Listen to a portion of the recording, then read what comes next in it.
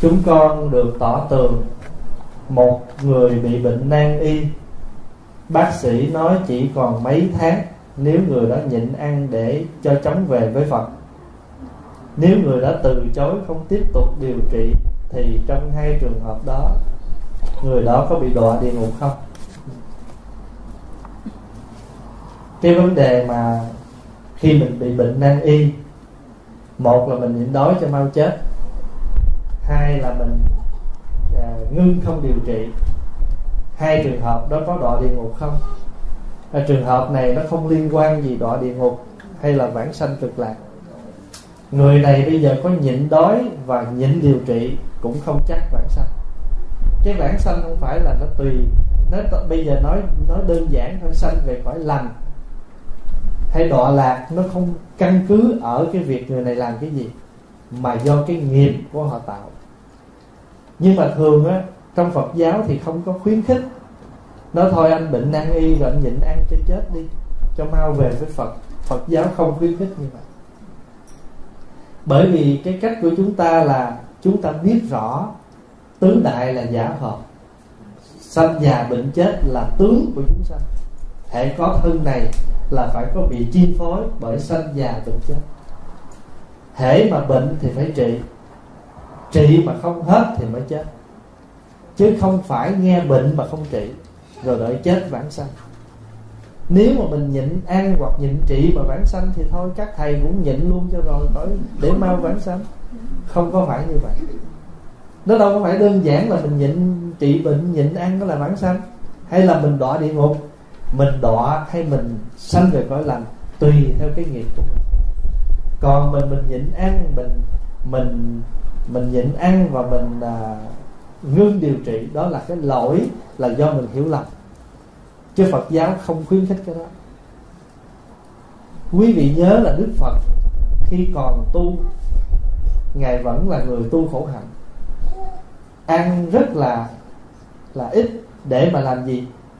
Để mà tu theo cái pháp khổ hạnh đó. Nhưng mà cuối cùng Đức Phật phát hiện ra là cái cách tu khổ hạnh này đâu có mang lại kết quả gì đâu. Cho nên ngay cái bài kinh đầu tiên Đức Phật nói rằng, mở đầu bài kinh Đức Phật này này các thầy. Các thầy cần phải trừ hai hai cái cực đoan. Một là dung bồi cho thân này, hai là hành thân ép sát vì như lai là người đã trải qua con đường này và không mang lại kết quả. Mình cứ ăn bình thường, nhưng mà mình ăn những cái gì mà có khả năng trị bệnh mình hoặc là ít nhất là giữ mình như vậy chứ không làm tổn hao thêm sức khỏe. Chứ không phải là mình nhịn. Ví dụ như bây giờ mình nhịn thì thay vì mình ăn uống bình thường thì đủ sức để người ta vô thuốc, mình có thể mình sống tiếp. Mới nghe bệnh cái nhịn ăn rồi nhịn điều trị, lẽ ra chưa chết, mà mình chết sớm. Hoặc là lẽ ra năm mới chết, chưa gì hết, một tháng chết rồi. Thì cái này đâu có đáng. Mà nó cũng không phải là cái cách đó thành nữ là mình làm như vậy thì người khác sẽ hiểu lầm là đạo phật chủ trương như vậy. Mà thật tình là đây không phải là chủ trương của đạo phật. Đó, đói đến thì ăn mệt ngủ liền. Bệnh thì phải chăm sóc. Ví dụ như mình biết nè cái hoa này là giả tạm mà. Thì biết nó là tạm nhưng mà đâu có thể không tưới nó. Phải tưới nó phải chăm sóc đến khi nào tự nó hết cái thời gian nó sống thì nó chết. Thân này cũng thế bây giờ quý vị có bồi nó cỡ nào đi nữa, nó cũng già, nó cũng bệnh và nó cũng chết. Rồi bây giờ mình bỏ phế nó thì nó già, nó bệnh, nó chết sớm hơn. Mà lẽ ra mình còn có thể duy trì được bao nhiêu ngày đó để mình làm việc khác. Cho nên mình không ép mình phải chết, vì mình biết trước sau gì mình cũng chết. Nhưng mà chết tự nhiên chứ không làm bất cứ chuyện gì để tổn hại đến thân thể của mình. Vì đó, mà nếu mình làm như vậy thì mình có lỗi với cha mẹ tổ tiên. Chứ không phải làm như vậy mà đọa địa ngục. Thì mình có cái lỗi đối với cái thân này không sử dụng đúng mà quý vị biết không? Nhất thức nhân thân vạn kiếp bất phục. Một khi mà mình mất thân này rồi vạn kiếp chưa chắc có lại được. Vậy thì có thân này quý lắm. Có thân này rất là quý, mình phải giữ thân để mình mượn thân này như chiếc thuyền để qua sông. Phong vào ví dụ như là có thể trong hai mươi mấy năm qua, mình đau khổ vì người thân của mình có thể chồng mình hoặc là vợ mình đã làm mình khổ. Mình đã khóc không biết bao nhiêu nước mắt. Mình đã khổ đau vì người đó không biết bao nhiêu mà có thể chưa khóc cho cha mẹ. Chưa đau khổ vì cha mẹ việc gì hết. Chỉ cho mình, cho người đó thôi, là người đó làm khổ mình thì một ngày nào đó mình tỉnh ra rồi thì mình biết rằng thôi, bây giờ mình không cần phải khóc như vậy, không cần khổ như vậy nữa, thì mình phải cần dụng cái thân này cho đúng. Mấy mươi năm còn lại, nói mấy mươi năm là hơi nhiều á, hơi cao á, chứ biết đâu còn có một năm, hai năm, phải tu gấp, phải dụng cái thân này lành mạnh cho đúng để không tổn giảm và mượn thân này để mình tu tập. Cho nên thân này là một chiếc thuyền qua sông không vì cái thân giả mà mình hủy nó. Cho nên một vị tổ mới dạy mình thôi. Dục hữu nhất thừa bất ố luật trần. Nếu mình muốn được đến cái chỗ cao tột đó, là nhất thừa của đạo phật đó đừng có ghét luật trần. Dục thú nhất thừa bất ố luật trần. Luật trần là gì? Là sắc là thanh là hương là vị là xúc là pháp. Còn luật căn là gì? Là mắt tai, mũi, miệng, thân, ý. Mắt mình là căn. Cái cảnh dưới con mắt là trần. Hiểu không? Thí dụ con mắt của mình thì phải nhìn thì cái cảnh này là đối tượng của mắt. Cái lỗ tai mình là nghe thì cái âm thanh là đối tượng của nghe.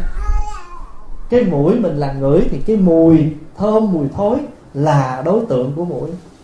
Cái lưỡi mình phải nếm thì cái hương vị, cái vị là cái cái đối tượng của nếm. Cho nên mình có sáu căn thì mình có sáu đối tượng. Sáu đối tượng.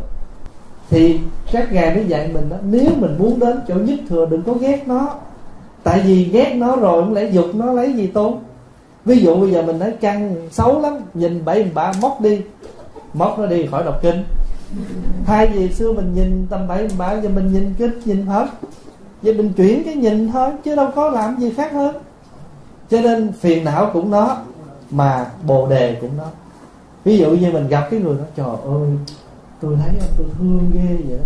Cũng mắt này nhìn cái cảnh, cái khởi lòng từ, thấy mà ghét.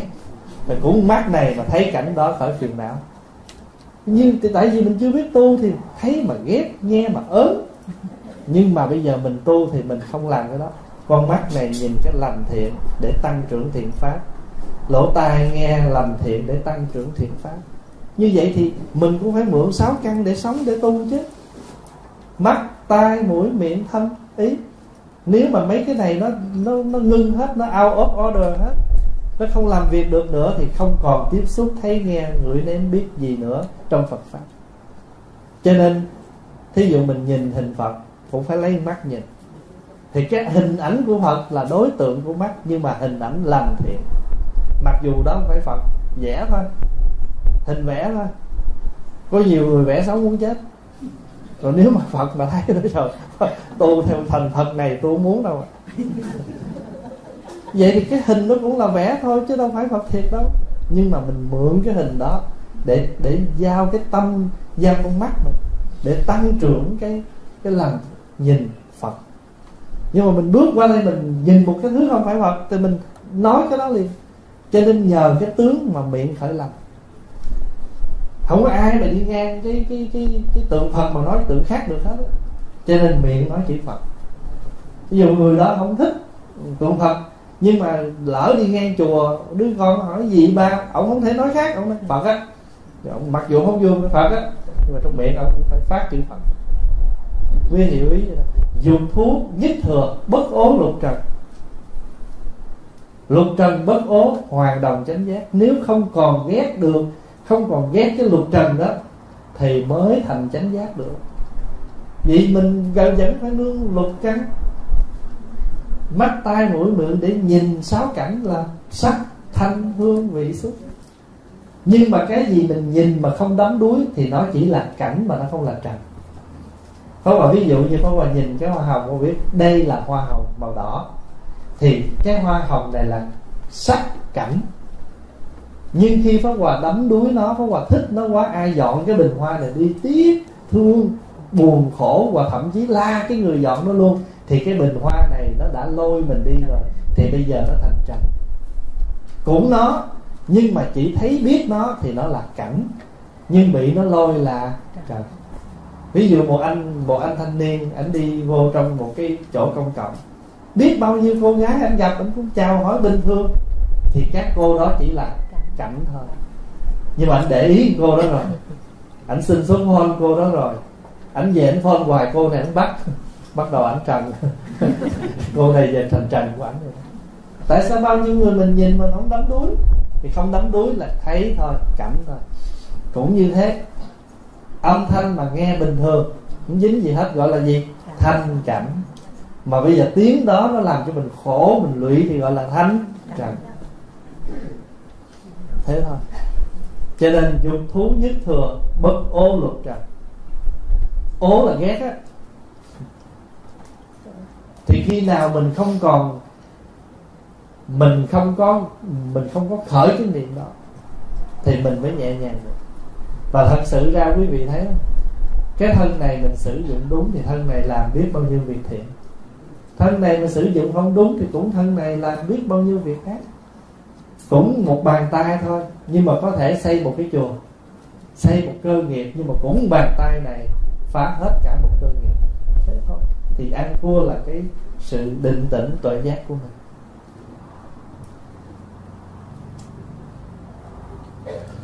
Thưa Thầy, có người hỏi nếu cả đời có niệm Phật tuy không nhiều nhưng vẫn luôn niệm Phật. Nhưng lúc lâm chung lại bị rơi vào mê man không biết gì nên không niệm Phật được thì người đó Lúc đó đi về đâu Và được về với Phật Di Đà không? Hay bị đi theo nghiệp lực? Không phải cái người này niệm thường Hay là cái người không niệm. Thí dụ bây giờ người như cái vị này niệm ít nè, và cái người kia niệm liên tu bất tận, tất cả cũng phải theo nghiệp của họ để mà họ tái sinh hết khi mình nằm mê, không có nghĩa là không biết gì. Chẳng qua là mình không đủ sức để mình signal mình phản ứng cho người khác biết mình đã nghe thấy gì hết. Nhưng mà khi mình người khác nói, thần thức người đó, tâm thức người đó vẫn nhận hết cho nên một ai đó đến khai thị cho họ đó, họ vẫn nghe hết. Điều họ không có phản ứng gì với mình để mình cho họ biết cho mình biết là họ có nghe mình nói gì thôi, chứ thật sự họ nghe hết.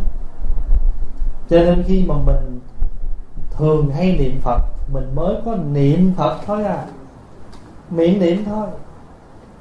Còn bao nhiêu cái hành nghiệp hàng ngày của mình nữa chứ thì nhiều khi cái hành tạo nghiệp của mình nó mạnh hơn, nhiều hơn là mình niệm. Cho nên, chưa chắc người đó lâm râm niệm phật cả ngày mà vãng sanh. Ví dụ giờ người đó niệm chuỗi vậy nè. Niệm cả ngày, mình thấy họ niệm vậy đó, ngày ba thời, ngày hai tiếng vậy đó, thời hai tiếng, niệm ba lần, ngày sáu tiếng. Nhưng mà trời ơi, sau cái giờ đó rồi là thôi.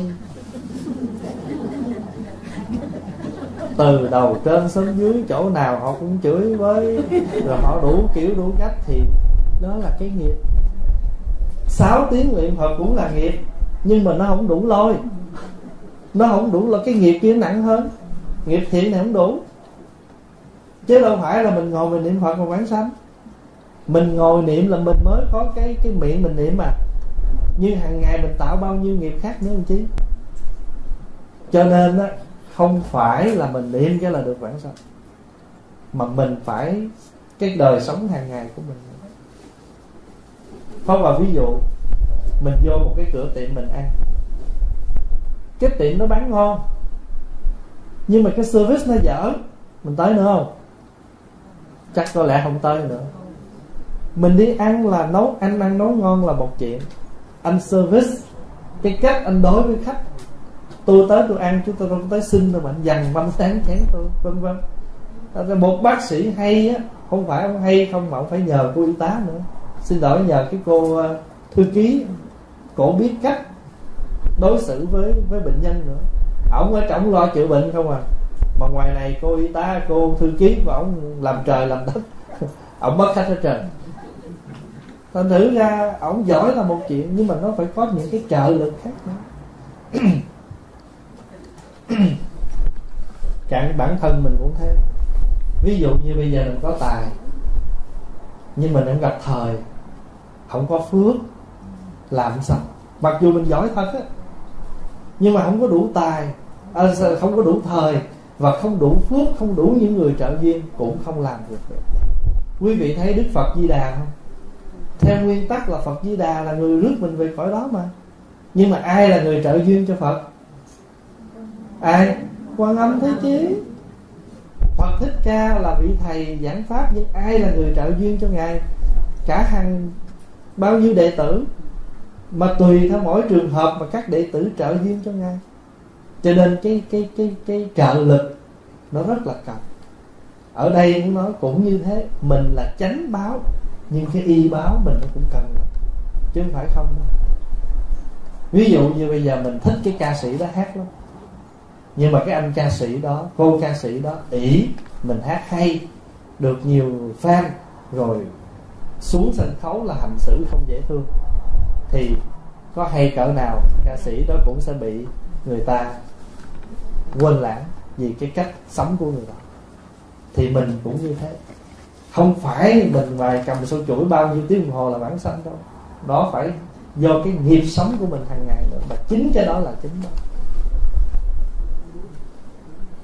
Con muốn thỉnh máy niệm phật của thầy mang đến xin thầy quan hỷ chỉ con bằng cách nào? Pháp hòa không có cái máy niệm phật. À, chỉ có những cái uh, bài pháp thoại ta thu vô thôi. Còn nếu quý vị muốn thỉnh thì hình như ở đây cũng có mấy vị đang cho thỉnh đó quý vị có thể uh, có thể thỉnh.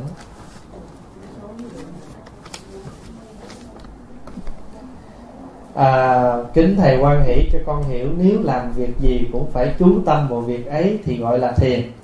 Vậy làm sao vừa lái xe vừa nghe pháp thoại?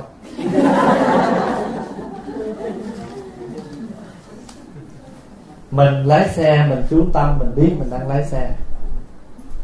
Và trong khi mà mình à, nghe pháp thoại trong xe đó cũng được chứ không phải không nhưng mình phải có chánh niệm nghe pháp thoại và lái xe chứ đừng lo cười với pháp thoại xong rồi. Thành nữ mình làm gì mình biết mình làm đó chứ. Mình mình mở văn giảng mình cũng phải biết mình mở văn giảng mà nghe thôi mặn mắt phải làm việc. Vậy thôi. Chứ còn bây giờ nếu mà nói là không tắt đi đừng có nghe thì chắc có lẽ là quý vị không nghe được. Tại vì quý vị chỉ có thời gian có thể là giờ rất tốt nhất nghe là trong khi mình lái xe đi làm. Cho nên cái cái việc làm thí dụ như á, quý thầy không có đi nhanh, không có chạy. Nhưng mà nếu mà lỡ máy bay nó trễ thì phải chạy. Tại vì nếu không chạy là trễ máy bay. Mà trễ xong rồi, lát nó không phải nó đi lê tốn thêm cái vé là ông nói rồi, bao nhiêu công việc phía trước đang hẹn chờ mình. Thì trường hợp đó mình chạy mà mình chánh niệm, mình đang chạy. Chạy vì lý do gì? Vì trễ máy bay chứ không phải tại thích ai đó chạy theo số phone là mình rõ như vậy. À, con rất muốn ghi danh vào nhà dưỡng lão tuổi hạt Toronto. Ngay từ bây giờ vậy con cần phải có những điều kiện nào? Điều kiện là phải đợi già mới vô được. Cái việc này là của việc trên nhà dưỡng lão có bà không có biết. Quý vị phải liên lạc trên đó. Để dễ phân biệt giữa sư cô và sư thầy sau khi phủi tóc các sư cô có thể đội khăn như ở làng mai không?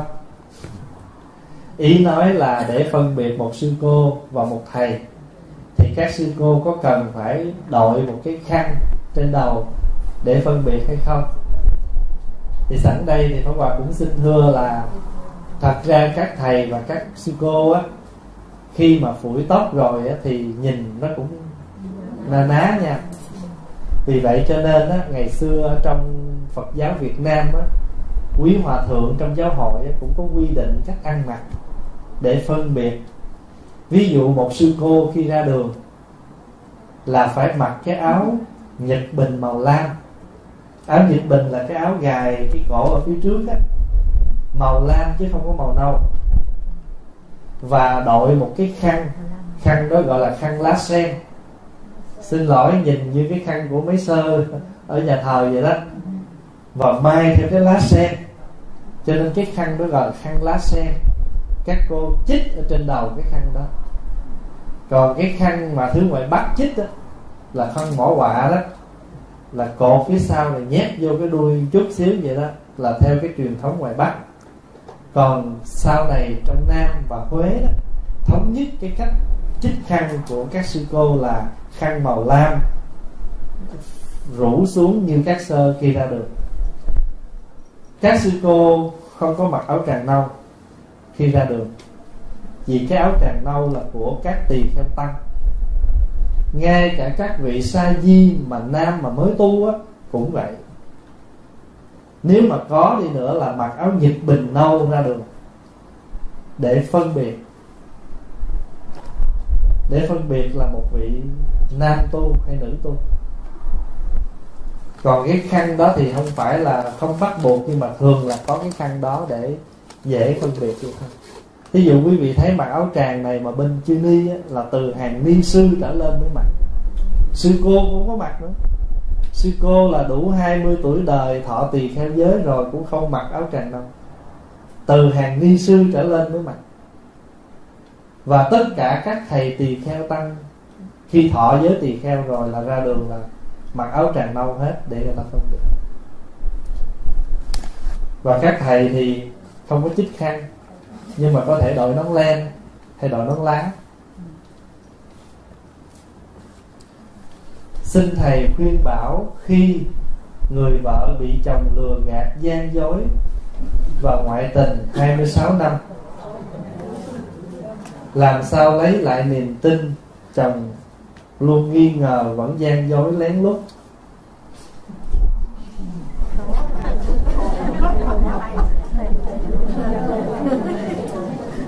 Cái này thì quý vị à, tự biết là nghiệp của mình tới đâu.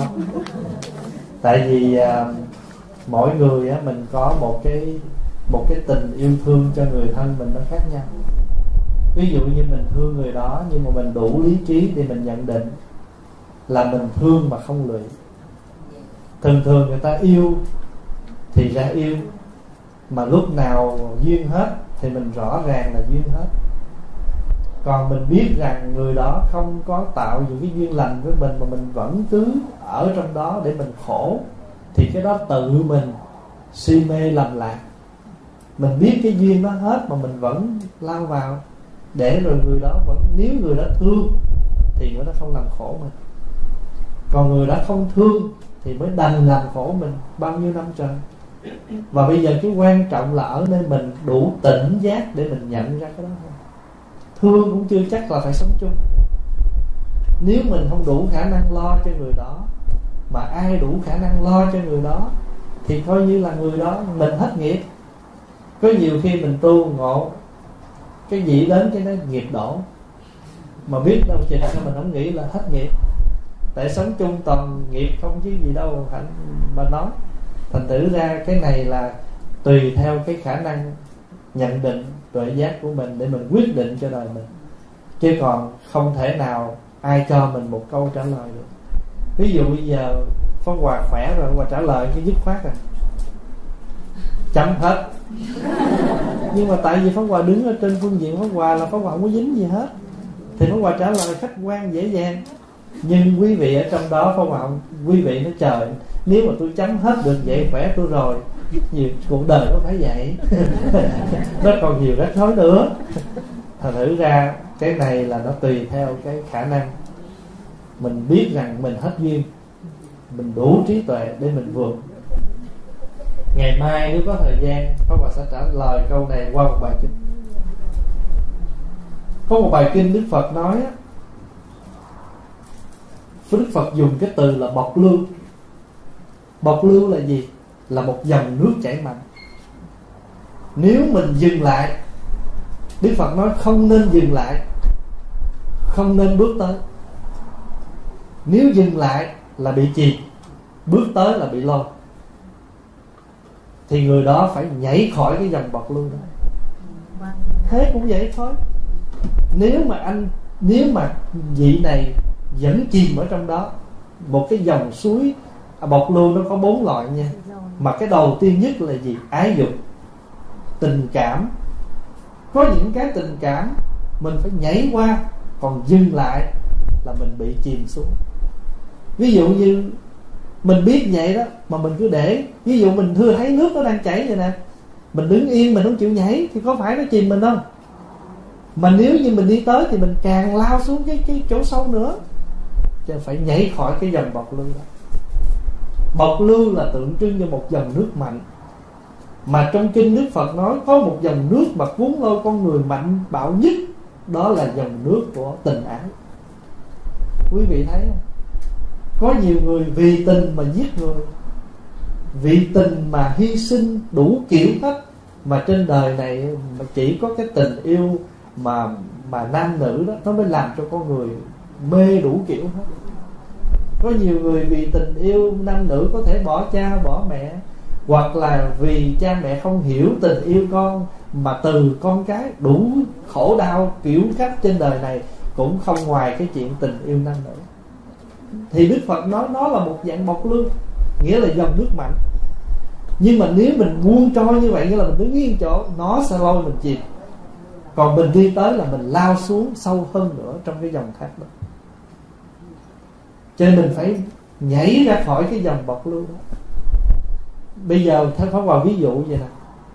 Những vị nào đang có gia đình, đang sống cuộc đời vậy là tại vì mình đang nghĩ rằng chồng mình đang thương mình, vợ chồng đang hạnh phúc, mình cứ đi nhẹ nhẹ nhẹ vậy thôi. Ai dám nhảy không? Nói thôi, tôi đang hạnh phúc lắm, giờ tôi quyết định tôi đi tu. Đâu dám nhảy đa số là bởi bắt đầu có chuyện buồn mới vô chùa tu. À, bắt đầu vô chùa buồn mới có chuyện tu bắt đầu từ đó người ta có cái nhìn về các người tu lạ lắm. Chắc thất tình như vậy ở vậy bây giờ là hôm nay là đang gùm ben độ ta không độ nàng. Quý vị hiểu được cái ý mà nói khi mình đọc cái bài kinh đó cũng cảm ơn câu hỏi này. Và trong cuộc sống của chúng ta, nó có một cái nữa gọi là vô minh bộc lưu. Không thấy lẽ thật, cứ như thế mà lôi vào có nhiều khi đâu phải chuyện vợ chồng. Mình đi theo những cái pháp tà mà quá trời là nó rõ ràng, mà người khác ta thấy nó quá chừng là vô minh, mà mình không thấy thì khi con người bị vô minh, bị lôi kéo rồi, thì chẳng khác nào bị lôi trên một cái dòng nước thôi. Không nhảy được cái dòng vô minh đó. Mà người mà ngược lại với vô minh là gì? Minh. Ở trong cái giáo lý thập nhị nhân duyên á,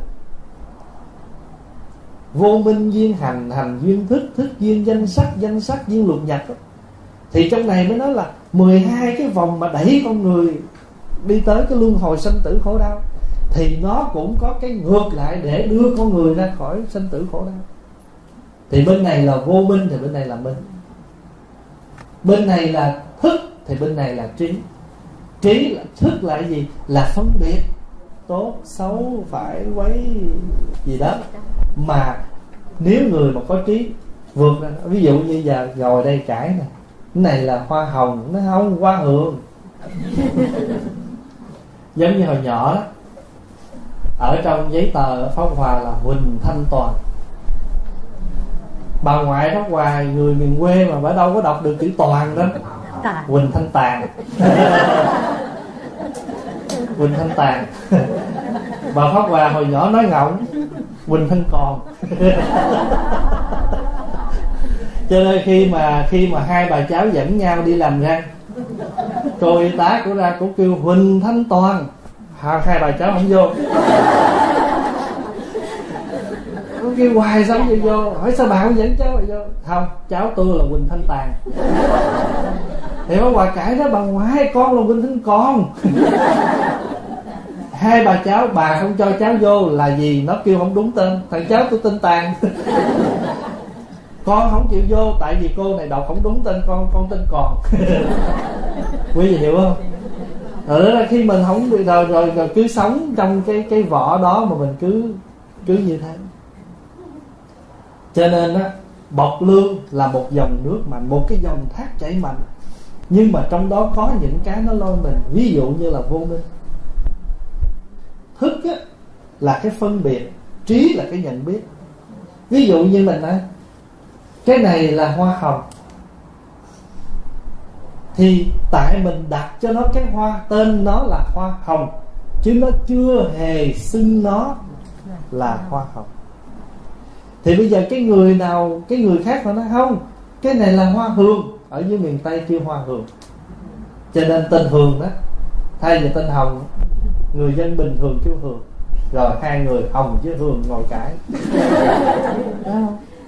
đấy cái người trí là hồng hương gì cũng là hoa thôi.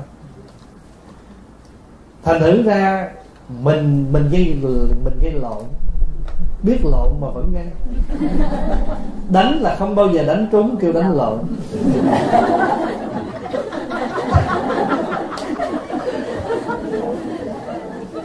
Mà đánh lộn vô đâu? Đánh đánh lộn vô con mắt cho bầm mắt đánh là đánh lộn vô mỏ kêu phù mỏ. Thì quý vị thấy là cuộc cái dùng từ chúng ta là gây lộn cãi lộn đánh lộn chứ không có gì trúng. Mà biết lộn mà vẫn làm thì gọi là vô.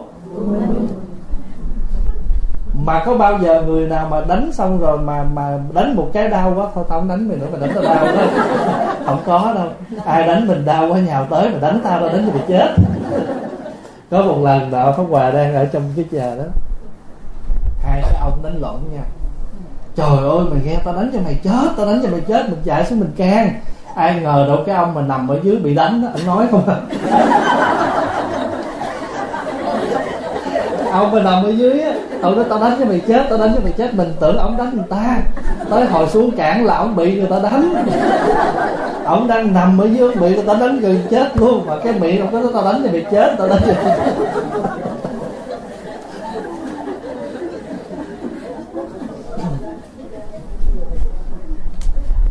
Vô minh bộc lưu ái dục bộc lưu Thật ra con người mà mình, khi mình không thấy lẽ thật là mình bị lo. Ví dụ như mình đang, mình mình đang nóng giận vậy đó. Tại sao mình nóng giận, mình la hét, mình nói là đa phần là do mình không kềm chế được cái giận không Nói tùm lum tà la là vô minh nó xâm chiếm rồi, Nhưng mà ít có dừng lại ngay đó. Hiếm khi nào mình nói là Ngay đó mình dừng lắm. Không được, tôi phải nói cho ra lẽ bữa nay. Mình làm tới làm tới còn nếu mình nói, thôi, mình đang nóng á, nói hồi là nó bậy dữ lắm á. Dừng ngay đó, không đi tới nữa, nhảy ra khỏi bọc lưu đó. Hiểu chữ nhảy khỏi bọc lưu không? Nhảy có nghĩa là tôi đang ở trong môi trường giận nè. Tôi đứng đây là tôi bị chìm, tại vì tôi thấy cái mặt nó là tôi chịu nổi nhưng mà bình thường tôi nói khác à. Không? Em ăn, em nói, em cười kiếp này không có hai người như em. Nhưng mà khi mà tôi giận lên rồi, tôi thấy cái mặt bà, tôi thấy cái mặt ông, mệt quá. Thì bây giờ á, mình ở đó là cái môi trường nó sẽ đốt mình, nó lôi. Nếu mình đánh tới nữa, mình làm tới nữa là hư chuyện, nhảy khỏi bọc luôn. Con người mình sống cũng vậy. Có những cái mình phải nhảy, nhưng mà không phải dễ mình phải đủ lực, đủ trí, mình mới nhảy được. Thí dụ mình nhảy ra xong rồi, phải không? Chết rồi, giờ con mình à đó là giá phải trả. Tại vì trong đời này không có cái gì mình làm mà không có cái giá phải trả. Như nếu mình thấy cái giá đó đáng trả trả một lần. Ví dụ như mình chịu đau cho người ta mổ cái cái cục mũ đó ra khỏi người mình đau lắm lần nhưng mà hết cơn đau này thì cái vết thương nó sẽ lành. Còn nếu mình để nó hoài thì đây cái ngủ này nó sẽ hành mình ngày này qua ngày khác. Quý vị biết đó, trong kinh đức phật nói có những khi mà chúng ta những người cùi á khi mà ngứa quá mà ta gãi không được á người ta phải đưa cái tay người ta vô cái cái hầm lửa để cho cái lửa đó nó làm giảm cái cơn ngứa của người ta.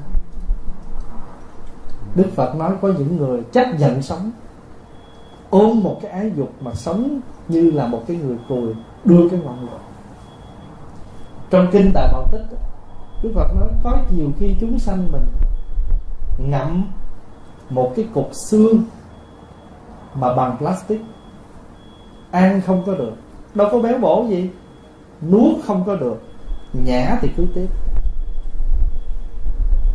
và nhiều khi á, người ta dụ mình ta giúp cho mình một cái cục đó chạy tới. Đức Phật ví dụ vậy trong kinh. Một cái bài câu chuyện khác. Có một cái con uh, có một cái con con con con con dê con con sói gì đó. Nó thích ăn một cái món đồ ăn trên một cây dao thì mỗi lần nó đưa nó liếm cái mật ở trên cây dao đó, đó là cái dao đó nó cắt cái lưỡi của con con con sói đó. Và khi cắt như vậy máu ra thì dính cũng dính trên máu thì nó lại tưởng đâu là mật nó liếm lần thứ hai thì nó liếm chạy máu tiếp. Và cứ như thế một lần nó vuốt qua là cái lưỡi nó đứt. Thì cuối cùng con con chó đó con chó sói đó lưỡi nát hết mà máu tự thân nó ra. Đức phật nói chúng sanh mình cũng thế có những miếng mật nó nằm trên cây kim mình chỉ quên, mình chỉ thấy mật trên kim mà quên cây kim và cứ thế mà liếm riết, đứt lưỡi nào cũng hay. Máu càng ra thì lại càng đắm đuối trong đó. Hoặc là nói, trời ơi, tôi lỡ đứt miếng miếng rồi. Máu tôi không thể chảy vô nghĩa như vậy được. Còn miếng để tôi làm luôn.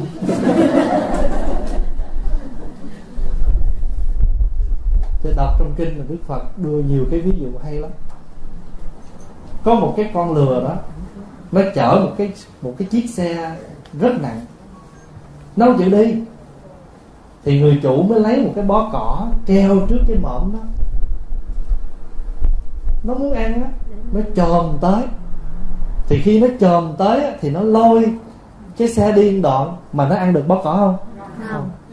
Về tới nhà bó cỏ còn nguyên mà nó chở hàng tới một cách không cần sức của người chủ. Đức phật nói chúng sanh mình bị người khác treo một bó cỏ ở trước cái mõm cứ đi tới lôi biết bao nhiêu hành nghiệp khổ đau mà mình không biết chỉ vì ham một bó cỏ. Thôi vài câu chuyện ví dụ thì để cho đậu hũ này. Giải quyết ha còn thầy suối nó thầy suối thôi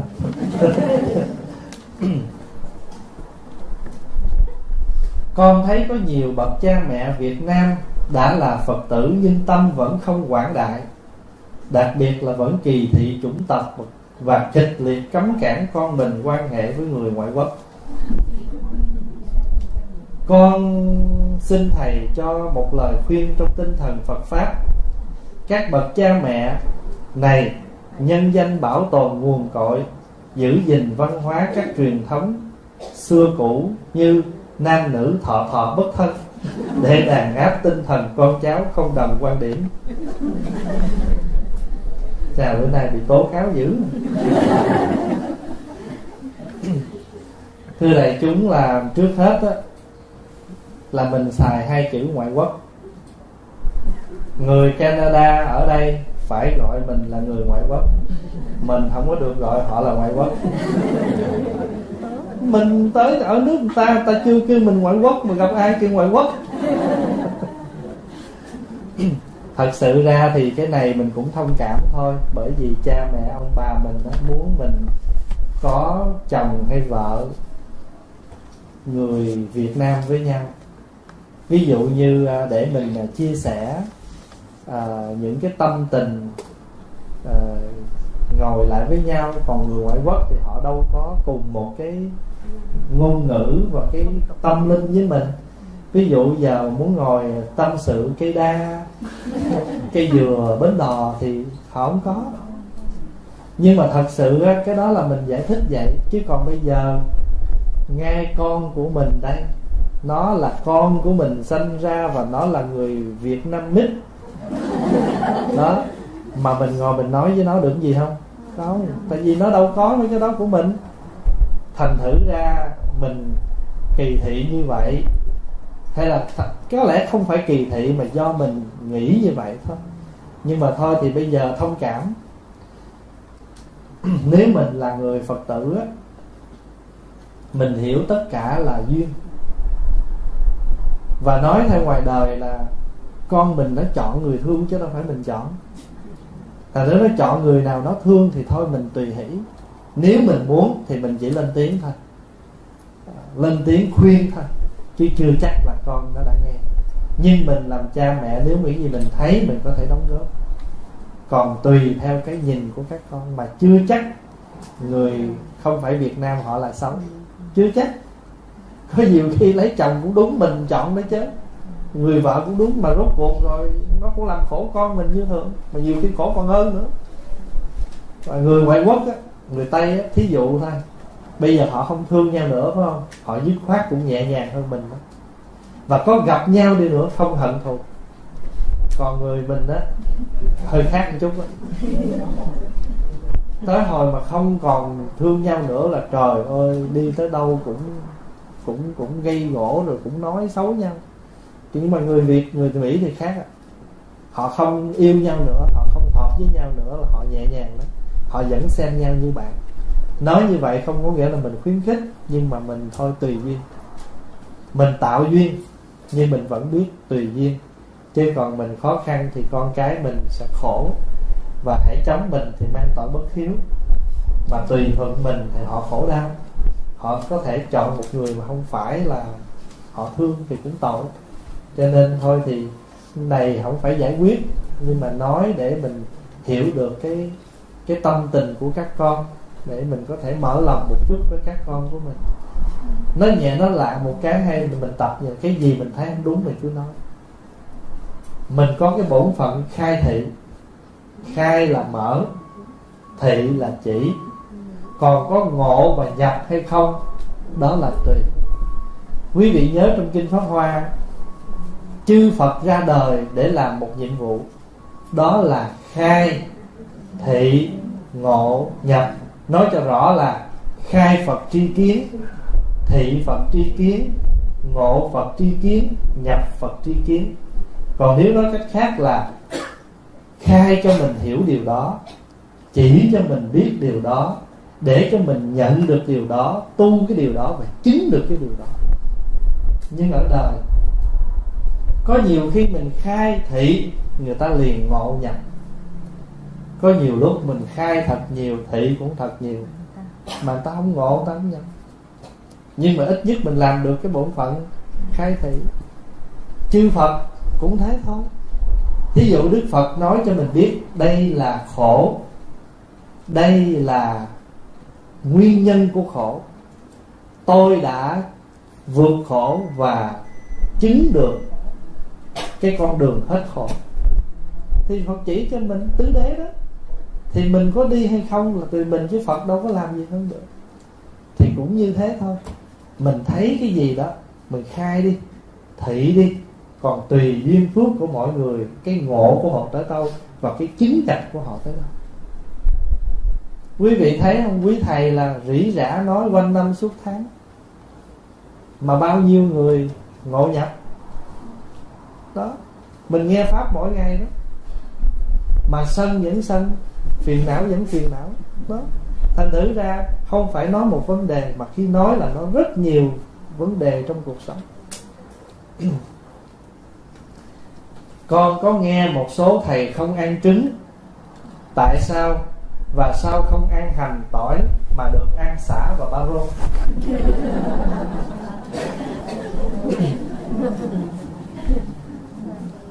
thứ nhất cái mình nói về cái trứng gà. Ở Việt Nam mình á hay là các nước Á Đông mình ngày xưa đó trứng gà đó là mình nuôi bằng nông nghiệp. Con gà có đạp trống cho nên trong con gà có con gà con. Thể ấp là nó ra trứng nó ra con. Vì vậy cho nên đó, mình tránh sợ nhiều khi mình ăn nhầm những cái trứng gà mà nó có con à, nó có trống đó cho nên mình thôi không ăn. Bây giờ ở đây á, cũng không phải là khuyến khích mình ăn nhưng mà đa phần ở đây là do công nghiệp không có trống. Nếu mình ăn cũng không sao mà mình có không ăn cũng tốt để mình tránh. Nhưng mà không phải vấn đề mình ăn trứng mới gọi là chính thức chay. Còn mình không ăn trứng là chính thức chay, còn ăn là không đúng, không phải vậy. Ngay cả hành tỏi, thật ra nó là rau mà có gì đâu mà cử. Nhưng mà cái chính là hành tỏi, nó thuộc về cái, những cái chất kích thích mạnh người xuất gia nên tránh. Đặc biệt là người xuất gia. Bởi vì trong hành tỏi mặc dù nó có vị thuốc, nhưng nếu mình mình yếu cơ thể, mình ăn cái đó, nó nó bổ dưỡng vô, nó làm tăng sức cho cơ thể không sao. Nhưng mình đã đang bình thường, mình dùng cái đó thì nó tăng cái cái chất kích thích thì không nên. Vì cho nên để giúp cho người tu dễ dàng, chúng ta nên giảm thiểu cái đó. Còn nếu mà mình có ăn, ví dụ trong bánh đồ ăn mà người ta làm sẵn nó có, cũng không có sao cái đó chút xíu không có gì trở ngại thật ra, hành tỏi nó không có gì tội lỗi cả. Không? nhưng mà ở đây, trong vấn đề người tu, thì chúng ta nên thấy cái gì nó không lợi cho cho mình trong việc tu tập thì mình nên tránh. Có vào ví dụ, người xuất gia không xài dầu thơm. Ủa, dầu thơm mắc gì cũng xài? Không lẽ xích dầu hôi? Nhưng mà bởi vì người đời người ta dùng cái đó để người ta tạo cái hấp dẫn cho người xung quanh. Cho nên người ta xài cái đó. Mình là người xuất gia mà hấp dẫn gì nữa? Bằng chứng là cạo đầu cho nó xấu đi, mặc đồ thường cho nó xấu đi, thì có cái gì nữa đâu mà mình đẹp, cần đẹp, cần sức hấp dẫn để mình spray cái dầu thơm đó lên mà nếu nói có hấp dẫn đi nữa người xuất gia cần có quan nghi tế hạnh để làm cái sức hấp dẫn của quần chúng của phật tử. Người ta nhìn theo cái gương hạnh đó hấp dẫn cho người ta tu. Chứ không phải dùng cái mùi thơm để hấp dẫn cái cái mũi của người khác. Nó ồ thầy này thơm quá. Ở thế gian đó, xấu đẹp gì không cần biết để cái dầu thơm lên đi ngang cái nó thơm. Người xuất gia không cần cái đó. Mặc dù nó chỉ là dầu thơm, nó có tội lỗi gì mình phải dùng cái đó. Nhưng không dùng là bởi vì nó không cần thiết. Vậy thôi. Bởi vì khi mình đi tu là mình muốn cuộc sống mình nó càng đơn giản, càng tốt. Để mình còn thời gian mình đầu tư vào cái việc khác người thế gian người ta cần, bởi vì người ta còn sống theo thế gian, người ta cần đẹp để làm đẹp cái đối phương. Mình tu là không có đối phương càng tốt, cho nên mình giảm cái đó đi. Chứ có gì đâu. Thì ở đây hành tỏi cũng vậy. Mình ăn không có tội gì hết á. Nhưng mà có điều mình muốn dễ dàng trong việc tu hành. Khỏi cực nhập với nó thì mình cái gì giảm được thì cứ giảm. Ba ngô á, đúng ra là cũng không ăn nhưng mà cái chất kích thích và chất nồng vị của ba rô nó không bằng tỏi và hành. Cho nên Phật giáo Việt Nam còn xài ba rô chứ Phật giáo Trung Hoa là tuyệt đối không có xài ba rô luôn thì người ta thế ta thế hành thế tỏi đó. Ta không ăn ta dùng kiểu đó. Thì thì đại khái là như vậy. Chứ không có tội lỗi gì hết. Nhưng mà chúng ta giảm thôi. Hôm nay con đến có một số bác không cho người đi thẳng vào chánh điện. À, vì sao bác con mời à, bác con mời vào là người già trên 70 tuổi? Con cảm thấy có cái gì ngăn cách? Dạ cái này mình hơi hiểu lầm thì pháp hòa được biết là ở trên này, trên trên chiếc ghế là dành cho quý vị lớn tuổi đau chân. Còn mình ngồi được dưới đất thì mình vào dưới đất mình ngồi, chứ không phải là ai khỏe ra ngoài kia ngồi ở trong này toàn những người 70 tuổi. Không phải vậy. Theo cái ý của hiểu là hàng ghế là ở đâu cũng thế, chỗ nào cũng thế thôi. Ghế là dành cho người lớn tuổi hoặc người có bệnh. Còn mình không có bệnh gì hết, mình khỏe mạnh thì ngồi được dưới đất thì ngồi tại sao ngồi dưới đất biết không? Hả? Tại sao ngồi dưới đất? Hả? Đó, thấy không? Mỗi người, mỗi mỗi tri kiến thôi. À. có người trả lời bên này nói là ngồi dưới đất ông mê. Biết ông mê không? Ông mê là em mong á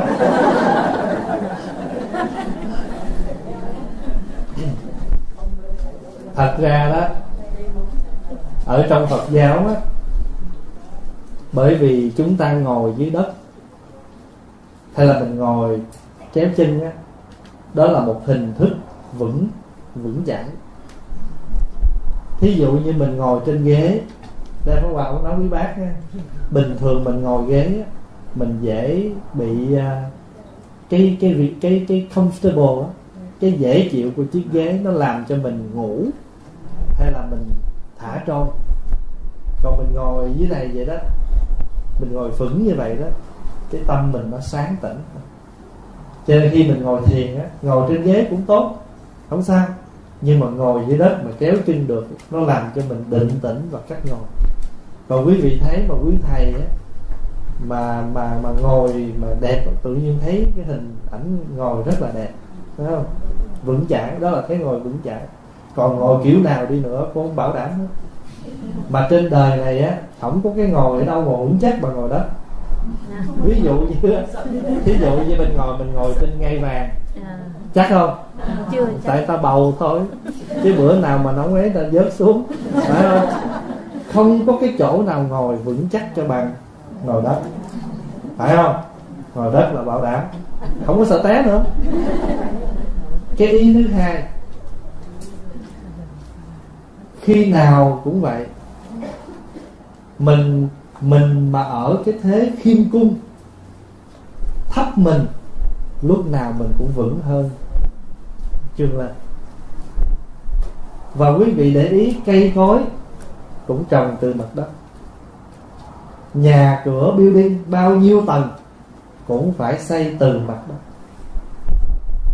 Mình ngồi trên đất, nghĩa là mình ngồi chỗ vững chãi của tâm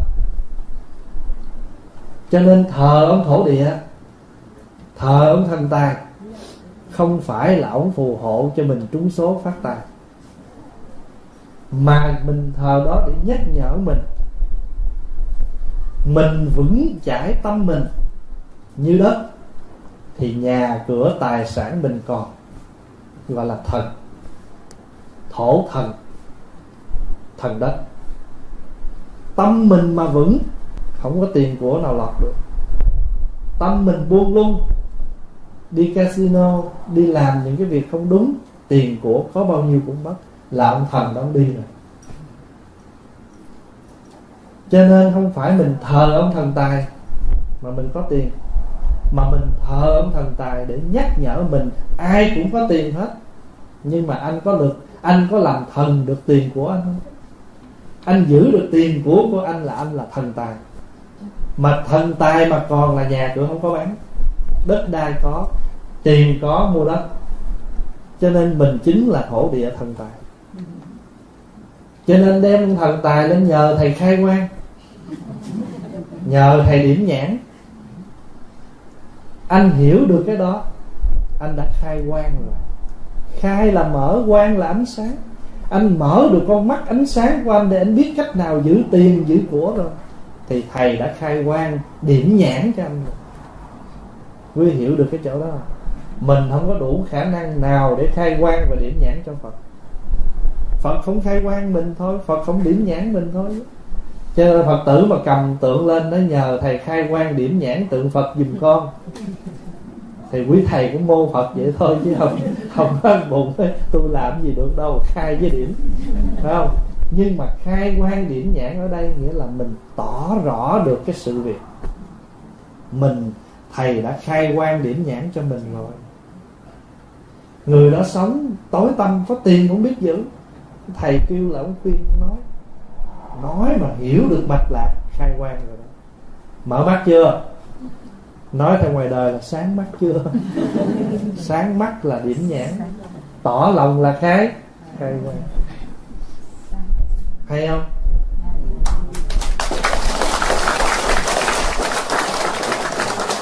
Phải em nói hay đạo lý nó hay.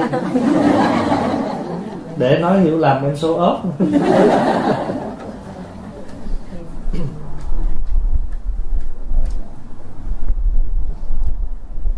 trong kinh Phật, lý của Đức Phật, cần làm gì để học hỏi phân biệt giữa đạo hữu? Nhiều thầy ở chùa như thầy tụng niệm, thầy thuộc kinh để đọc, thầy giảng giáo lý, thầy gõ mỏ gõ chuông. Câu hỏi nó không có rõ gì hết đó nhưng mà có bà hiểu ý. Cái ý của đạo hữu này hỏi đó, là ở trong chùa các thầy có chia ra nhiều bậc thầy đó thì ông mới list ra một lô là thầy tụng niệm, thầy đọc kinh gì đó. Thì thưa đại chúng ngày xưa đó, trong Phật giáo mình đã có một cái từ là a Asale lê. A lê tiếng phạn là akariya mình phiên âm là a lê. Ngài huyền trang đã dịch nghĩa chữ a lê này có ba nghĩa. Một, nghĩa thứ nhất là giáo thọ nghĩa thứ hai là quỷ phạm.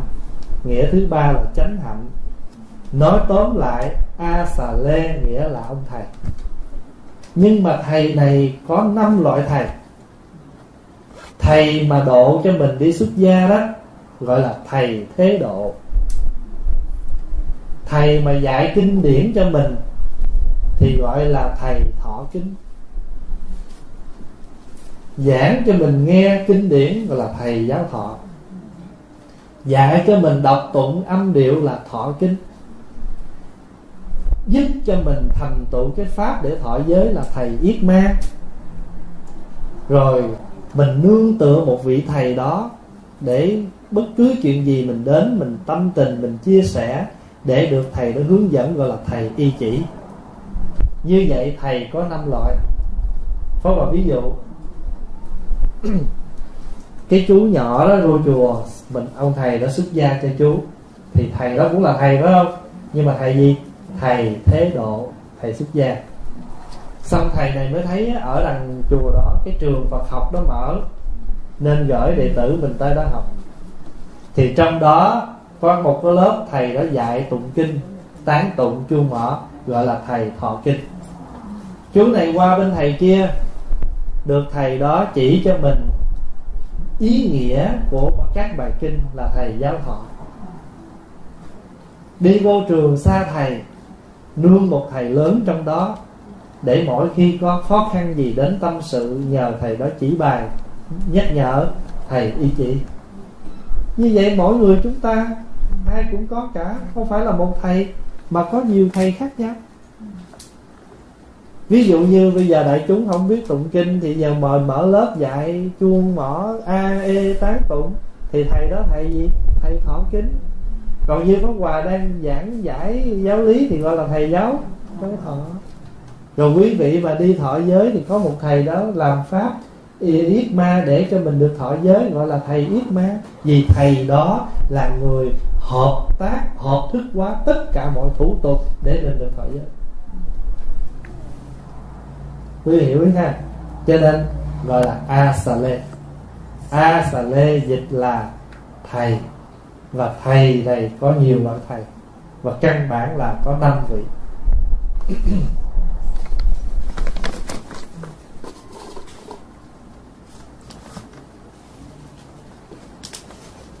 Dạ thưa thầy, con muốn hỏi chết có phải là hết không? Nếu không thì con người lúc chết sẽ đi về đâu? Có kiếp sau không? Thật sự ra nếu mình là phật giáo đó, mình là phật tử á, thì mình sẽ không có hỏi. Bởi vì mình biết rằng đức phật nói, cái chết mà hiện hữu đời này chỉ là cái chết của đời này. Còn cái chết mà chúng ta sống chết thì vô lượng rồi. Sanh tử của con người mình là vô lượng. Có một ví dụ mình lấy mình đốt cái tờ giấy này lên. Mình nói là tờ giấy này nó hết rồi. Nhưng mà thật sự tờ giấy này nó thành tro. Nó đi về lòng đất. Nó nuôi cho những cây khác lớn lên.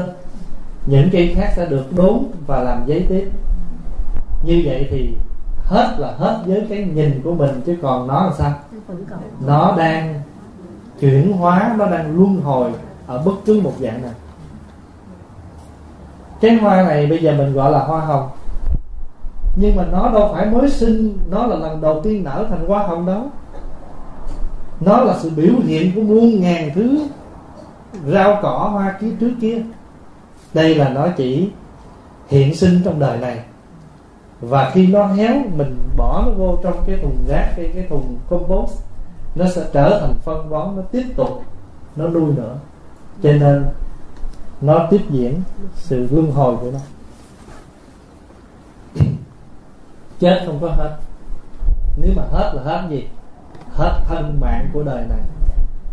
Nhưng mà nghiệp lực đâu có hết. Có vào ví dụ, cái ông mà tạo ra chiếc máy bay, nó chết rồi. Nhưng mà sự nghiệp mới là tạo ra chiếc máy bay vẫn còn không? Vẫn còn hay là bây giờ cái ông mà phát hiện ra internet, tạo ra những cái iphone rồi đó, ông cũng phải chết thôi. Nhưng mà đâu phải ông chết chứ là tất cả những gì ông làm nó hết đâu. Nó còn. Vậy thì chúng ta cũng vậy. Hết là của thân tứ đại. Hạn hẹp này bao nhiêu lâu thôi. Nhưng mà nghiệp lực gì chúng ta tạo nó vẫn còn. Và đi đâu? Tùy theo cái sự tạo nghiệp của mình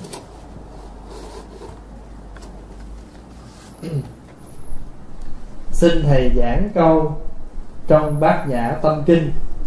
Sắc tức là không không tức là sắc. Thọ tưởng hành thức cũng như thế. Câu này mới quen không? Sắc tức thì không không tức thì sắc. Thọ tưởng hành thức diệt phục như thế. Thì mình dịch ra tiếng việt là sắc tức là không không tức là sắc. Thọ tưởng hành thức cũng đều như thế đây là cái cái cái nhìn của trí tuệ. Bát nhã là trí tuệ. Bát nhã bản thân nó nghĩa là trí tuệ. Nhưng mà bởi vì cái hiểu biết thông minh của con người vẫn là một thứ trí tuệ, nhưng mà đó là trí tuệ thế gian. Nó không thể so được với cái trí tuệ tu tập của bát nhã. Nhưng mà bởi vì chúng ta muốn để dễ phân biệt trí tuệ của xuất thế và trí tuệ thế gian thì mình lại thêm chữ nữa là trí tuệ bát nhã. Chứ thật sự nói chữ bát nhã là người ta đã hiểu nó là một thứ trí tuệ rồi. Vậy thì trí tuệ này có khả năng thấy tất cả các pháp đều là không. Cho gọi là sắc tức là không không tức là sắc bây giờ phóng vào ví dụ. Cái nhà này, hiện tại mình được gọi là cái gì? Cái chùa.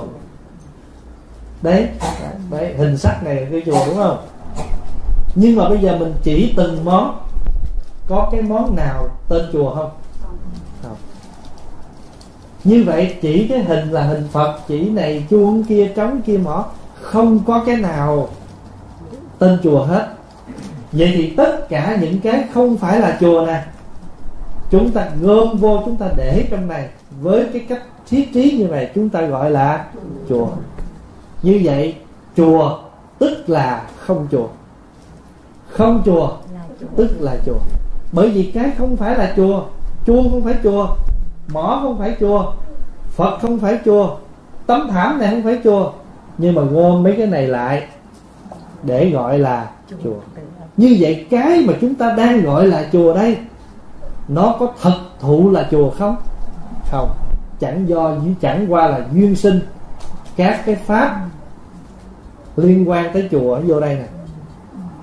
Nhưng bây giờ bây giờ lột cái này ra hết, kéo ra hết. Mang thánh giá, mang ghế, mang bàn vô của nhà thờ thì lập tức được gọi là nhà thờ.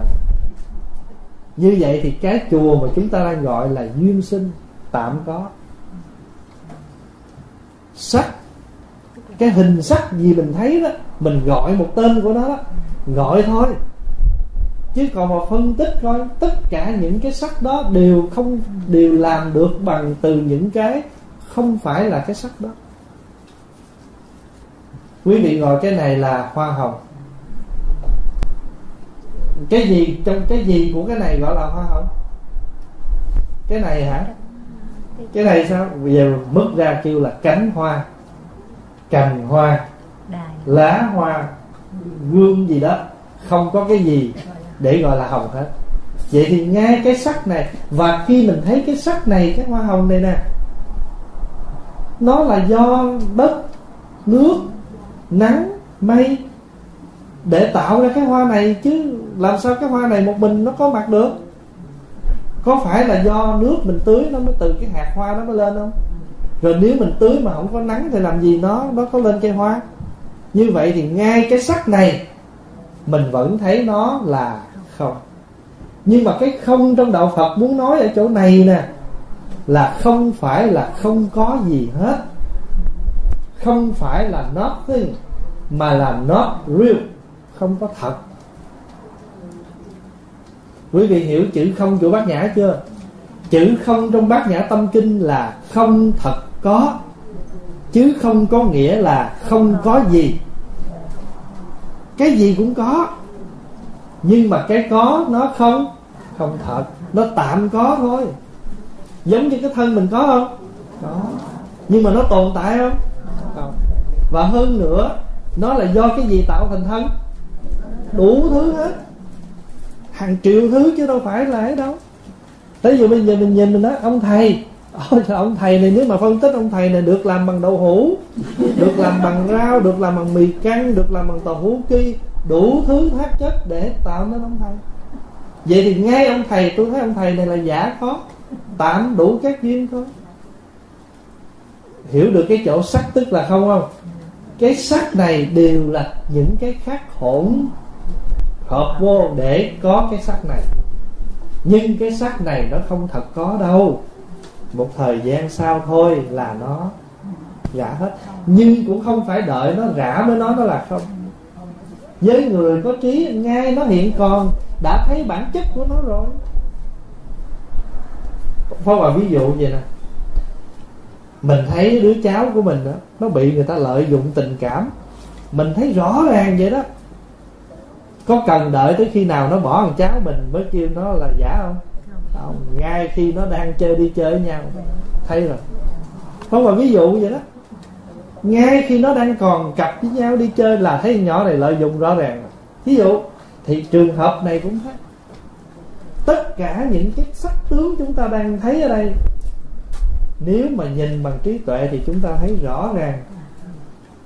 Chỉ là duyên hợp thí dụ bây giờ đại chúng ngồi đây bây giờ nè. Hội họp này có thật không? Thật nhưng mà có có. nhưng mà có tạm thôi. Hết giờ thì đi về. Mà nếu mà nó trời ơi con thích nghe pháp quá. Mà thử nói 4 tiếng đồng hồ coi. Thầy thầy chừng nào nghỉ? Nói dài nói dài nói giờ cũng phải đúng lúc tan ra như vậy thì nhớ rằng tất cả các thứ nó chỉ tạm có chứ không thật có. Đã thấy sắc được như vậy thì thấy thọ thấy tưởng thấy hành thấy thức cũng phải như thế. Rồi bây giờ Pháp Hòa nói sắc quán sắc rồi bây giờ quán thọ nè. Thọ là cái gì? Cảm thọ là feelings. Cái cảm thọ mình có thật không trời ơi bác đẹp quá bác ơi. Vậy hả thầy? Còn nếu mà chê bác xấu coi. Dù gì. Cái cảm thọ vui buồn của mình tùy theo câu nói của người khác. Vậy thì cái thọ mà cái cái thọ là cái feeling á nó có thật không? Không. Ví dụ hiện bây giờ quý vị đang thọ gì nè? Thọ nóng. Nực nóng nè hầm hực quá. Nhưng mà nếu mà tháng 11 tháng 12 là thọ làm sao? Thọ lạnh hoặc là tối nay trời xuống độ là mình thọ lạnh vậy thì cái cảm thọ nóng lạnh của mình nó cũng đâu có thật đâu. Nó tùy theo, nó thay đổi. Vậy thì cái thọ này cũng không thật. Bây giờ pháp hòa thưa nè ha. Đại chúng buồn, vui. Ví dụ bây giờ đang ngồi đây hỏi, vui không? Vui. Nhưng mà cái vui này thật không? Không chút xíu nữa ra mất dép cái đổi đổi sắc đổi tướng hết liền. Cái vui này cũng đâu thật.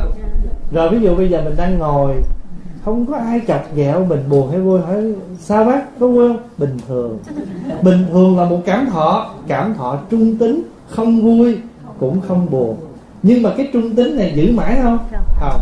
Chút xíu nữa ai đang chè tới cái cười. Vậy thì cái vui cái buồn và cái không vui, không buồn là thọ.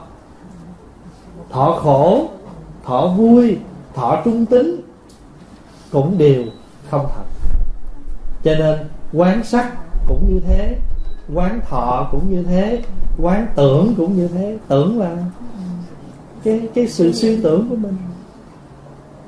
Ở đây có ai tưởng không? Tưởng nhiều lắm.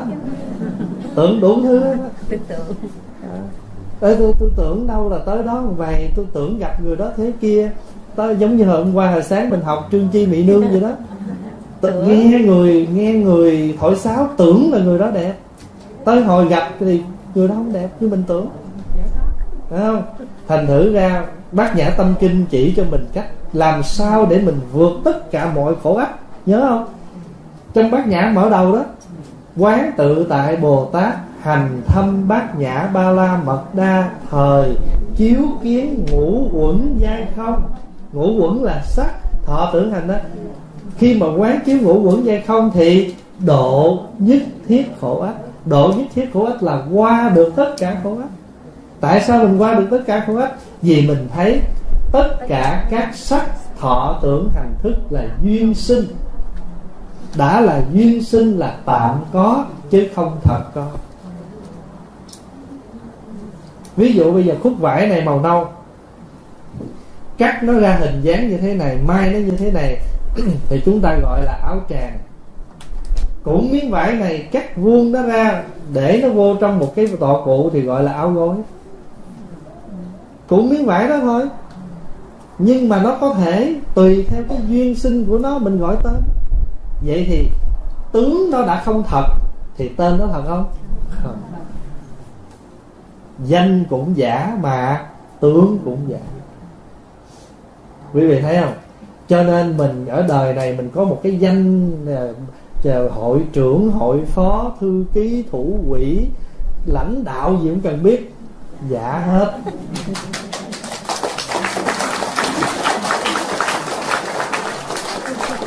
Tại vì hội họp lại trừ người ta cần mình ở trong chức đó thì người ta nói ờ tôi mời anh vô cái chức đó mình làm cái chức đó mà thiệt ra mình nhận chức và nhận việc. Mình làm việc đó mới có chức đó. Chứ không phải nhận chức mà không nhận việc. Có nhiều khi ta nhận chức thì nhiều mà việc ta không làm.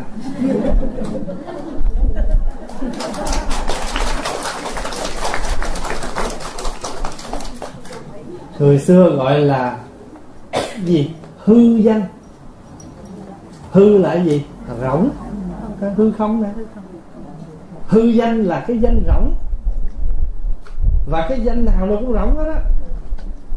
Chẳng qua là đủ cái duyên nó có mặt thì tạm gọi vậy đó. ví dụ như là cái ông đó đó. Thí dụ bây giờ cái vị đó còn à, làm người tu đi, thì mình gặp người đó cạo đầu mặc áo vậy mình gọi là thầy. Bây giờ bữa nào vị đó không tu nữa, để tóc, mặc đồ đời thì gọi bằng anh bằng chú bằng gì đó chứ không và thầy nữa. Vậy thì cái tướng nó đổi thì cái danh nó cũng đổi. Vậy cuộc đời này danh tướng bản chất của mọi thứ đều là không giả hết. Khi mình hiểu nó là giả có thì không có nghĩa là mình dục bỏ nó. Mình vẫn dụng nó nhưng mà không khổ với nó vì tạm biết nó là giả.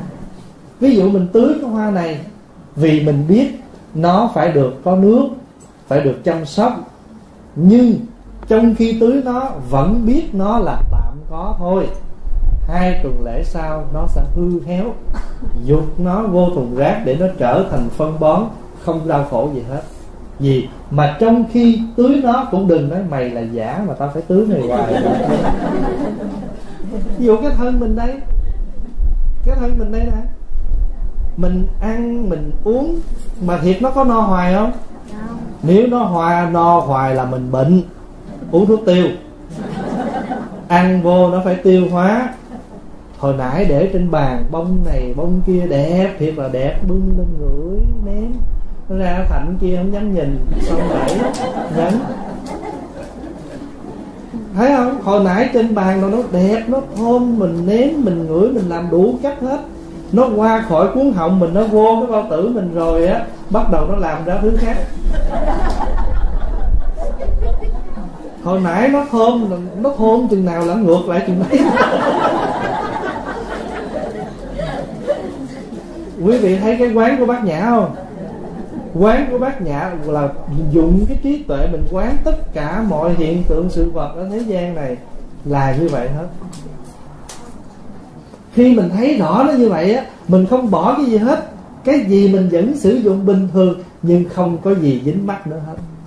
Anh không có khả năng làm khổ tôi nữa. Cái thân này nè, bệnh tôi phải uống thuốc, nhức đầu tôi phải uống thuốc. Nhưng mà tôi biết thân này là tạm. Lỡ mai mốt mà nó có chết tôi không có khổ nữa. Hồi xưa tôi sợ chết lắm. Mà bây giờ tôi không sợ chết mà không có nghĩa là tôi cầu chết. Khi nào chết thì chết. Cho nên đó, sống thì không giận không phiền không trách móc. Sống mỉm cười với thử thách trong gan. Sống vươn lên theo kịp ánh ban mai. Sống trang hòa với những người đang sống sống là động, nhưng lòng luôn bất động.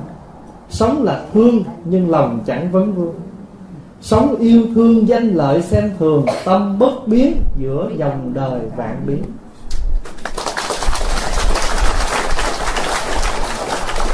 Còn nếu nó chết chết không giận, không hờn, không quán trách. Chết mỉm cười với với những cái thử thách của cuộc đời chết nhẹ nhàng như một cánh hoa rơi. Chết không sợ và chết như những người đang chết.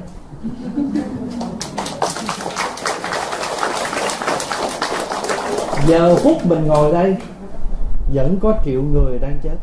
Mỗi tích tắc là có triệu người chết mà mỗi tích tắc là vẫn có triệu người sinh. Cho nên chết nhẹ nhàng như một cánh hoa rơi. Chết an lành như những người đang chết. Chết là chết mà chết không có hết. Chết là đi, nhưng không có biệt ly. Đâu có biệt ly. Ví dụ, bây giờ quý vị đã thấy pháp hòa rồi. Quý vị đã từng thương pháp hòa ở tất cả bài giảng rồi. Mai mốt pháp hòa có chết. Mà pháp hòa đâu có chết trong lòng quý vị. Chết là đi, nhưng chẳng có biệt ly. Ví dụ, chiều ngày mai pháp hòa đi đi về chỗ pháp hòa ở. Nhưng pháp hòa đâu có biệt ly với quý vị đâu. Quý vị vẫn có pháp hòa trong lòng. Trong lòng quý vị vẫn có pháp hòa thì chết là đi nhưng chẳng có biệt ly. Chết mình đi mà đi về cõi a di, không sợ chết mà cũng không hề có chết. Tại vì chẳng qua là thay đổi thôi. Cho nên á, trong kinh có một cái chết này nè nếu mà mình nhắm mắt, mình tắt thở, mình chết á, cái chết đó ai cũng sẽ một lần chết. Cái chết đó gọi là nhất kỳ sanh tử. Nhưng mình sống trong đời này, mình phải có một cái chết là chết nghĩa là thay đổi bản chất sống của mình. Hồi xưa mình sống dở lắm, sống hay hờn, giận, trách móc đủ thứ. Sau khi hiểu Phật pháp rồi, sống vậy khổ mình chứ khổ ai đâu. Mình là người khổ trước nhất nhiều khi người ta thấy mình hờn mát riết ta mặc kệ luôn. Cứ giận đi, khi nào hết giận thì hay. Ta chẳng thèm để ý nữa, cuối cùng mình là người khổ, phải không? Thôi, đừng có sống kiểu đó nữa. Bữa nay nhẹ nhàng chấp nhận vui vẻ. À cái bà hai hay giận chết rồi cái đó trong kinh phật gọi là gì biết không? Biến dịch sanh tử. Dịch là dời. Biến là đổi. Hãy dời đổi cái cách sống đó là cái cách sống dở để chết rồi. Chết rồi. Thì cái sống đó cái chết đó cần nên chết. Kia có một cái anh đó đó ảnh xì ke ma túy đủ thứ sau này ảnh phát tâm ảnh tu. Cái anh đi vô chùa đó hey, mày có phải năm xạo hay gạt người không? Dạ, hàng năm đó nó chết rồi. Hiểu không? Hàng năm đó nó chết rồi. Bây giờ hàng năm đang đứng mặt đây là hàng năm thay đổi. Hàng năm đã lột xác hàng năm này bây giờ là năm chứ không có bù, không có gì nữa. Quý vị hiểu ý không? Thành nữ rằng cái chết mà nhắm mắt mà chết á, ai cũng sẽ đi tới đó. Cái đó gọi là nhất kỳ vô thường, hay là nhất kỳ sanh tử. Còn cái thay đổi mình luôn luôn là biến dịch vô thường. Thưa đại chúng, mình ngồi đây là biến dịch vô thường hết á. Biến dịch hết á, thấy không? Mình tập hợp hồi sáng nè rồi giờ giấc nó giờ giờ giờ giờ chiều rồi nè. Rồi ngày mai nữa thôi thấy không? Mình có, mỗi ngày mình đi tới cái biến dịch vô thường. Đến một giây phút nào đó mình sẽ nhất kỳ vô thường. Chuyện đó sẽ tới. Còn bây giờ mỗi ngày đây là vô thường thay đổi luôn luôn. Nhưng mà nếu mà thay đổi tốt, thì nó sẽ biến dịch tốt. Còn nếu mà có nhiều người ta tốt mà từ như biến sao biết, thành xấu quá. cái đời sợ à đó.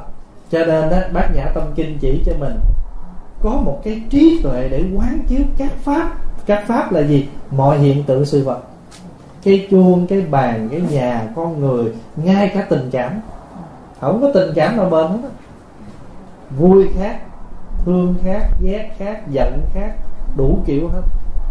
Vậy thì tất cả mọi hiện tượng trên đời này tạm hết. Không có gì thật hết khi nói vậy thì đâu có nghĩa là thôi tôi cũng thèm gì là không phải cứ bình thường. Nhưng mà việc nó nó đến ồ đời nó vậy đó. Nhẹ nhàng nó sao hết. Cái đó là sống được cái bát nhã tâm kinh độ những thiên khổ. Quý vị hiểu được đoạn đó chưa? Khi hiểu được cái đó rồi sống thoải mái lắm. Nhẹ nhàng vô cùng. Và những cái gì trong cuộc đời này nó đến đó, nhìn à vậy đó. Giống như có ông thầy đó, đó ông được ta thương lắm. Ta kêu Phật sống không cái bữa nọ có một đứa con gái trong xóm đó, nó nó nó có chữa nó không có dám nói cho ai biết hết. Má nó trao quá trời cái nó không biết ai nó ông thầy á. Cái là cả xóm cả làng đó lên gọi ngài là ông phật chết. Bây giờ hết thương ông rồi. Hồi xưa quý nhiêu lại giờ kinh thường nhiêu. Ông đó nha từ nay về sau xóm làng này không còn ai gọi ông là phật sống nữa hết á mà phật chết. Ông chỉ nói vậy à thì sanh đứa con ra đem dục cho ông nuôi.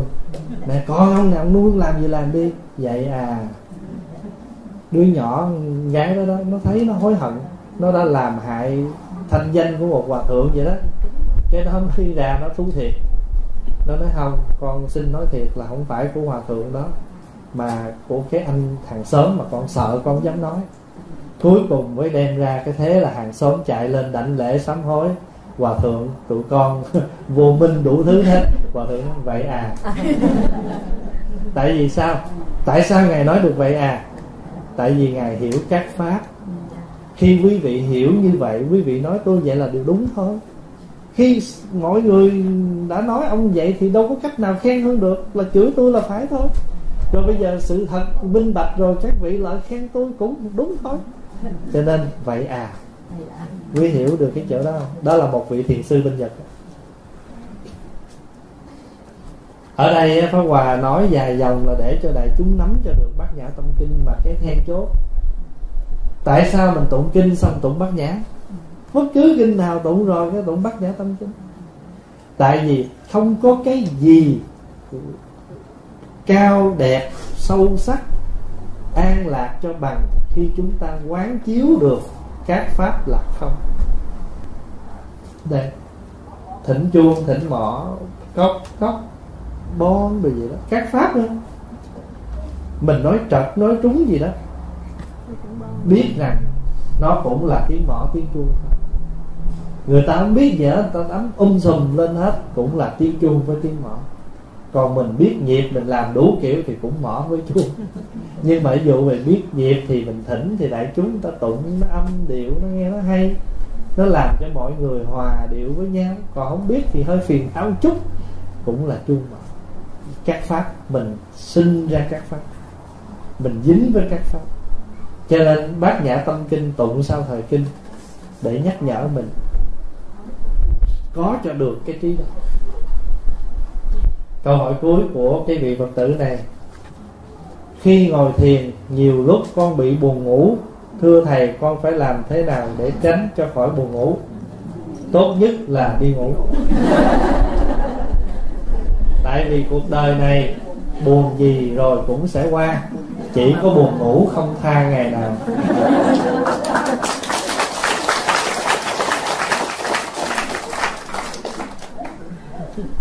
Nó có hai dạng buồn ngủ.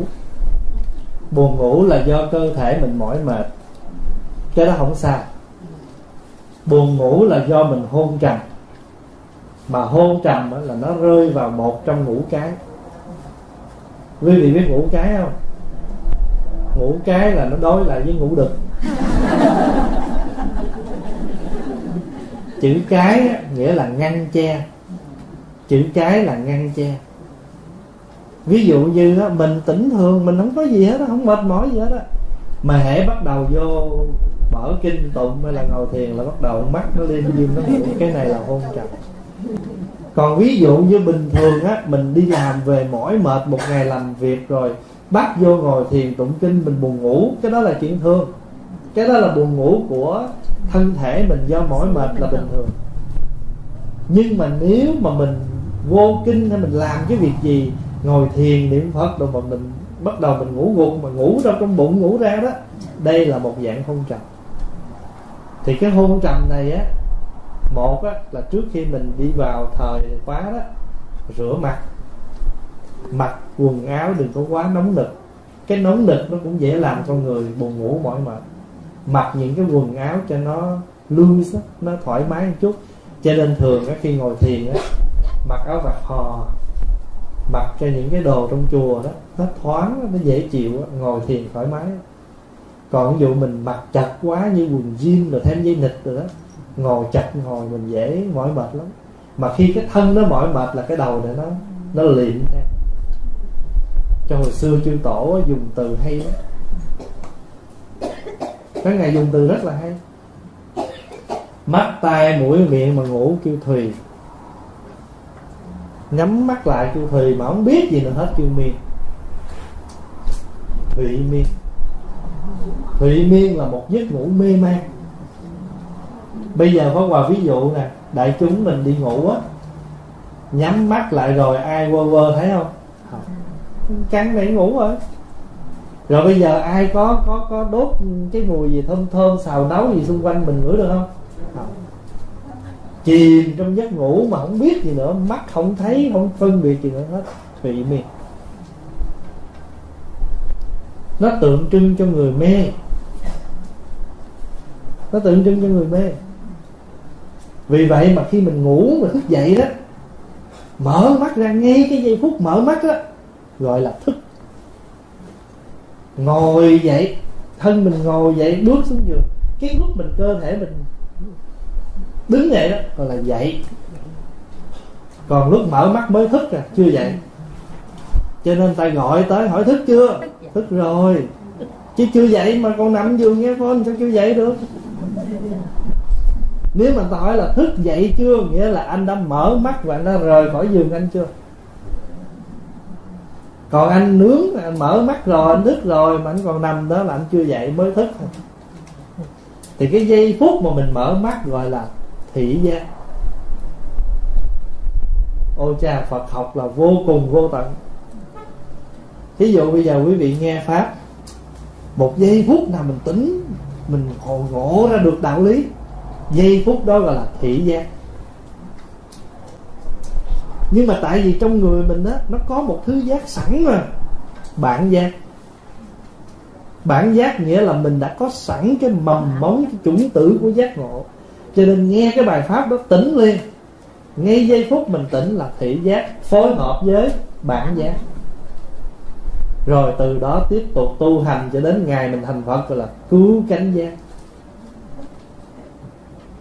Cho nên hồi xưa các tổ dùng cái từ là thùy miên thí ngộ ngủ nghỉ mới dậy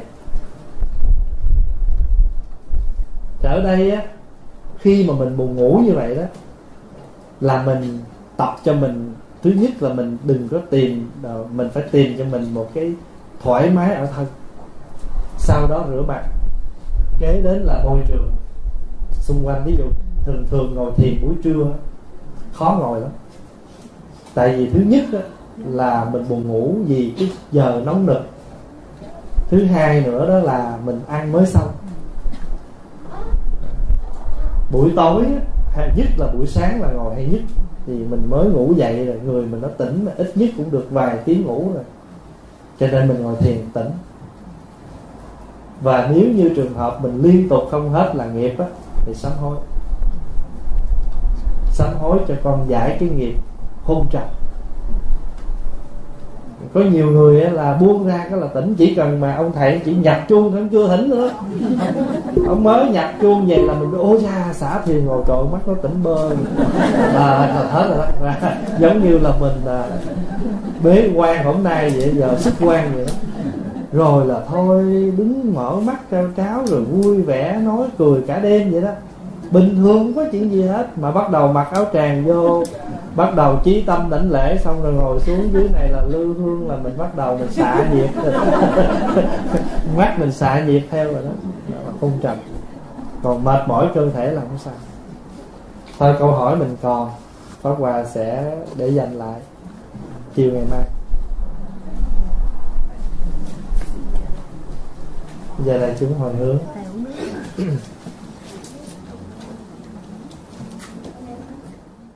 nguyện đem tâm đến